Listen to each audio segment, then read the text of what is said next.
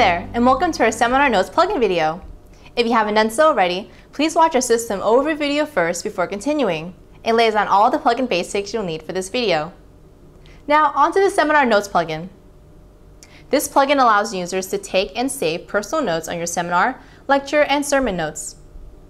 You can even embed images and videos, and include links to PDFs, web pages, other resources, and more.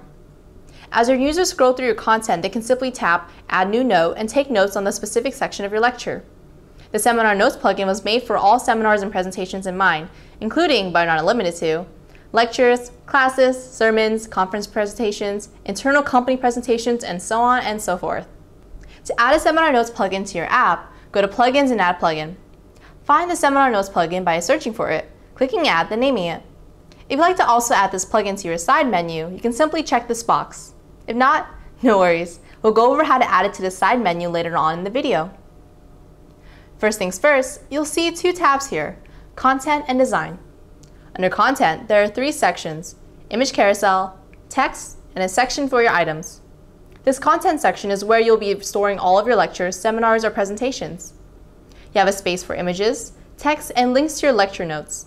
Let's start filling the section out. The image carousel is powered by our media library. To learn more about our media library, please click the video here. The image carousel is where you can upload images for your lecture. This can be the title of your lecture, relevant images to your lecture, or there could be images that are deep linked to other parts of your app. For more information on deep linking, please see this video here. The text section is powered by our Text WYSIWYG, which you can learn more about here. Use this space to insert a summary about your class or other important information. Now this is the fun part. This next section is how you'll go about filling in your plugin with your seminars and lectures. To start, click Add New Item. Keep in mind that one item equates to one lecture or seminar. Clicking this will take you to the Item Content tab. Here, you can start filling out this information by giving your lecture a title, a small summary or subtitle, and the date. The difference here between list image and image carousel is the list image is what will represent this particular lecture on the previous page that will host all of your lectures. Link slash actions is where you can link to other resources. Maybe your lecture has a worksheet, additional reading, or some YouTube videos that go along with it. This section is where you'll do just that. If any of these resources are currently available within your app, then you can link to it as well by selecting Link to App Content in the drop-down menu here, and then selecting a plugin that has the resource that you'd like to link to. Use the Content section to insert a transcription of your lecture, a summary of your seminar, some key points and takeaways, anything you'd like. This is the content that your users will be taking notes on. Item Design lets you put a background image behind your lecture content. Be careful as to not make the image too distracting. You want your text to still be legible. When you're finished, go back to Item Content and click Done. You'll see your first item now appear in your list of lectures, ready to be opened by your users and used to take notes. And to top off creating your Seminar Notes plugin, let's go over the Design tab. This is where you can change the format of your lectures, as well as add in a background image as well. Don't forget, keep the background image simple so it doesn't interfere with the text on this page. Now that I've gone over how to create the plugin, I'll give you a brief tutorial on how to use it. To take notes on a specific lecture, simply tap on the lecture, then tap Add New Note. If you haven't created an account before, then a screen for registering should pop up. The Seminar and Lecture Notes plugin requires users to create an account in your app in order to make and store their notes. Once you've registered, then you should be able to take notes directly into your plugin. To see all of the notes you've taken so far, just tap on Open Note List.